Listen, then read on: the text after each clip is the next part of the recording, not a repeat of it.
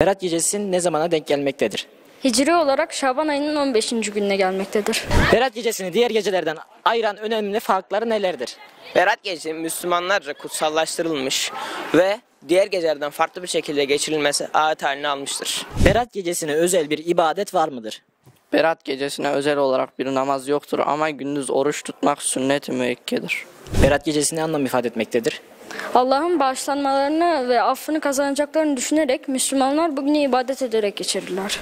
Berat gecesi nasıl değerlendiriyorsunuz? Hazreti Peygamberimize göre geceleri ibadet edip sabahları oruç tutmalıyız. Ayrıca Allah o gün dünyaya tecelli eder ve rızık isteyen rızık, af isteyen af verir. Ben de Berat gecesini ailemle vakit geçirerek ve Kur'an okuyarak değerlendiriyorum. Berat gecesi sizin için ne anlam ifade etmektedir? Berat Gecesi günümüzde birçok Müslüman tarafından önemli bir gün olarak kabul edilmiştir. Günümüzde birçok kesim bunu bir gelenek haline getirmiş ve toplumsal etik anlayış zihniyetine kadar nüksetmiştir.